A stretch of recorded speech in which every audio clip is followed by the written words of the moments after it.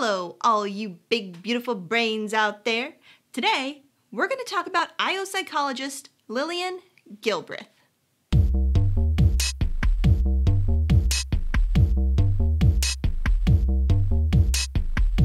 Before we get started, take a minute to subscribe to Psy vs. Psy. Help out your friendly neighborhood psychologist while I tell you all about the mother of modern management herself, Lillian Gilbreth. Now, the mother of modern management seems like this huge title, but if anyone ever deserved it, it was Lillian Gilbreth. Let's talk about who she was, and then we'll get into why she is so important to you. Born Lillian Evelyn Moller, she originally thought she would be a teacher and went to UC Berkeley, where she studied English Lit and graduated with honors, becoming the first woman to be asked to speak at Berkeley's graduation ceremony. She then went to Columbia University in New York to get her master's, but wasn't allowed to work with the famous writer she wanted to study under because, well, he wouldn't allow women to attend his lectures. you see, Gilbreth did all of this in the year 1900, a time when women weren't viewed all that positively. Her struggles became the thing of scientific legend, however, because she did get the opportunity to work under the renowned psychologist Edward Thorndike, who sparked her interest in psychology. Shortly after she moved back to Berkeley, where she met and married her husband Frank Gilbreth after obtaining her master's in English literature. Her husband was an engineer who recognized her keen abilities at understanding the human experience and encouraged her to go back to school for training in psychology. During this time, Gilbreth also discovered her aptitude for engineering under her husband's training.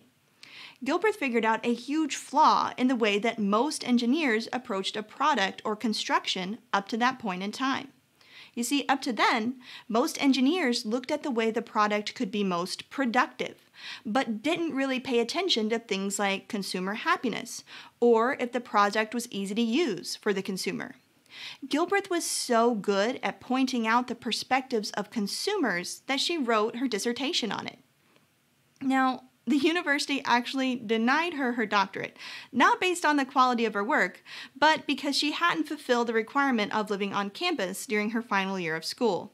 Instead, Gilbreth lived with her husband and family. But she didn't let it hold her back. Gilbreth published her dissertation as a book.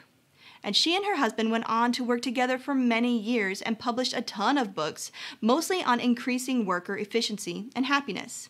She did later get that PhD from Brown University in 1915, and then three days later, she gave birth to her and Frank's seventh child. So, why should you care about Lillian Gilbreth? Well, if you have shelves in your refrigerator doors, you can thank Lillian Gilbreth. If you've ever used a trash can with a foot pedal or an employee suggestion box, you can thank Lillian Gilbreth.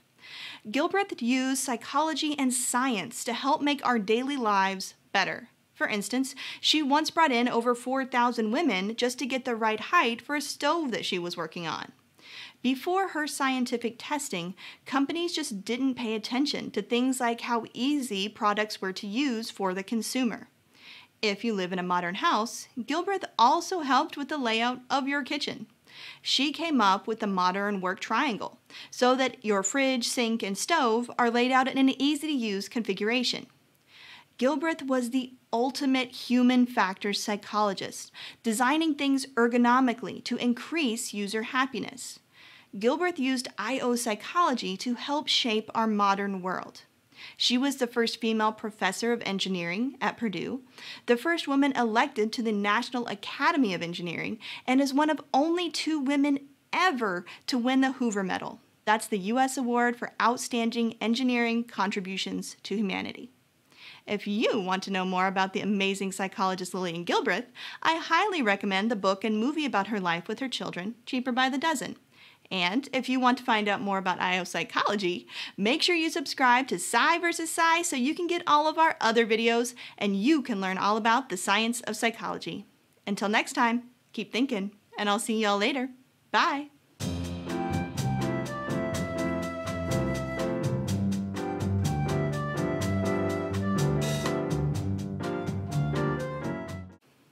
I'd say if you want to know more about Lillian Gilbreth, you should really read one of the books she wrote with her husband. But they were published under her husband's name because, you know, she was a woman. Misogyny. Waka waka.